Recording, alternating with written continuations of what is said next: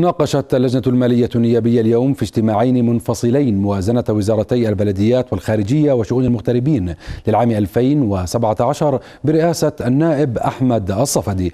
اللجنة المالية خلال اجتماعها مع وزير البلديات وليد المصري والدوائر التابعة لها ناقشت عوائد ضرائب المحروقات المخصصة بموجب القانون للبلديات والمقدرة بما نسبته 50% والمتوقع أن تصل إلى 171 مليون دينار لعام 2017 كما أكدت اللجنة حرصها على تطوير خدمات البلديات خاصة في ظل اللجوء السوري.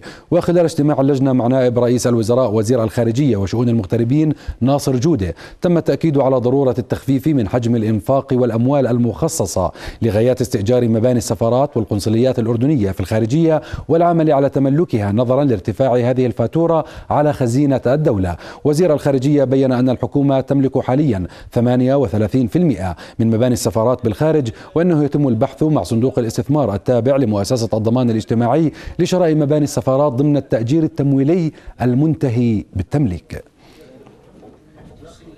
تم مناقشة مساهمة وزارة البلديات في تعزيز عمل البلديات من حيث تزويدهم ب الأموال والمخصصات التي تنتج عن المحروقات.